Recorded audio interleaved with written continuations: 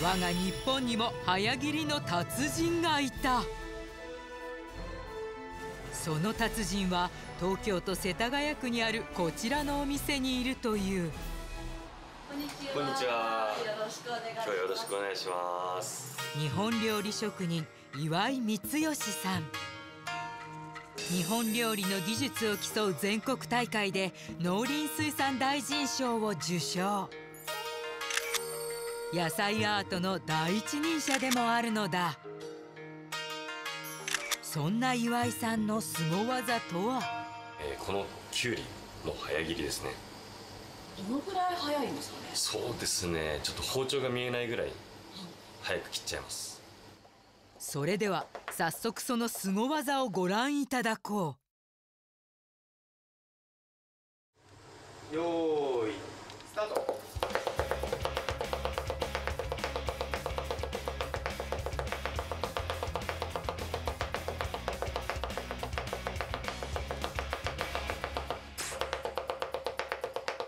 確かに包丁が見えない驚異のスピード。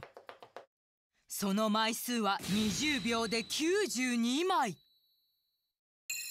わずか1秒で4.6枚も切っていった。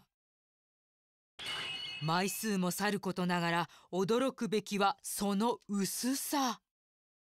スロー映像で見ると断面もきれいに薄く切れていることがわかる。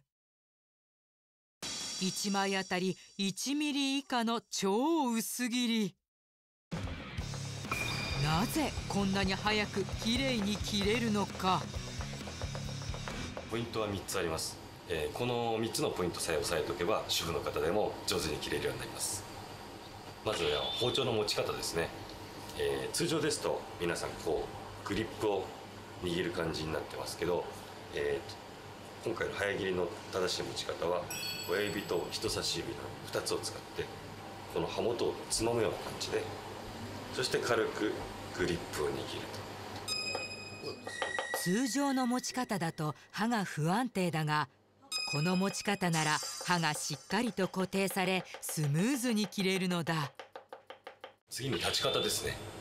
あの通常だとこうキッチンに向かって真正面にこう立つから、とどうしても肘が窮屈になって切りづらいんですけど、えー私たちはこう体を45度に開いてこういう風に作業します。そうするとこう肘の抜け具合が良くなってものすごくスムーズに包丁さばきができるという。で家庭でやる場合はこのままのポジションで材料を45度にしてあげて肘が動かしやすくなりスムーズに切れるように。最後は包丁選びになります通常の包丁は刃の付け根をつまむと重心が偏っているが岩井さんの包丁は平行にこのように重心のバランスの取れた包丁は余計な力がいらず刃先を正確に操ることができるという。